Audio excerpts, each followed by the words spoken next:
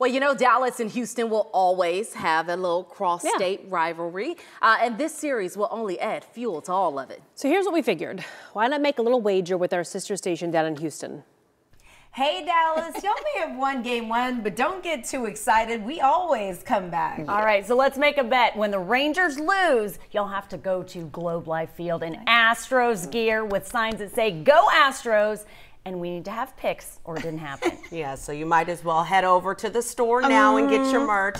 But if a miracle happens and you all win, we'll have to head to Minute Maid and do the same thing. Yeah, but I wouldn't count on that. I mean, we are pros at this. How many times have the Rangers even won the World Series? How many rings do they have? We're waiting, we're waiting. We're waiting. Anyway, seriously, good luck in this Texas Size Showdown. May the best team win. And hey, Tashara and Kara, we know you're from Houston. You guys, you can stop pretending to be Rangers fans. Yeah, go Astros! go Astros! Little petty fun, you know, I'm all for it. We go up and down 45 every now and again. So, hey, may the best team win, and we know where that team is. That's right, right mm -hmm. here. There Our zip go. code has changed. Thank you, ladies.